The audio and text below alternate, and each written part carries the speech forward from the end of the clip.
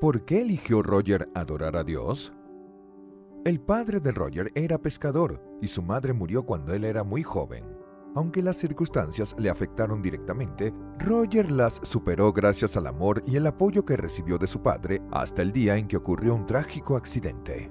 Un día, mientras pescaba en el alta mar, su padre tuvo que subir a lo alto del mástil del barco. Se cayó al agua y nunca se le volvió a encontrar. A los 14 años, Roger se quedó huérfano sin nadie que se ocupara de él. Prácticamente se convirtió en un habitante de la calle y tenía que robar verduras de los jardines de la gente para no morir de hambre. Era tan pobre que tenía que llevarse tres pantalones uno encima de otro para protegerse del frío durante el invierno. Para escapar de esta dura realidad comenzó a consumir bebidas alcohólicas y rápidamente se convirtió en un adicto a la bebida.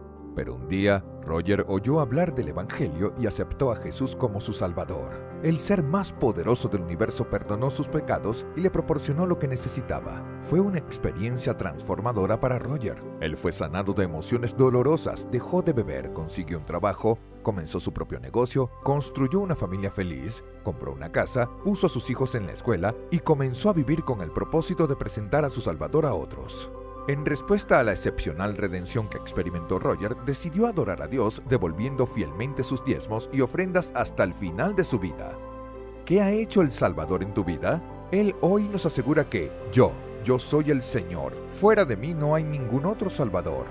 Adorar a Dios con los diezmos y las ofrendas regulares, tal cual Roger lo hacía, es una forma de demostrar gratitud por su gracia salvadora que abarca todos los ámbitos de la vida.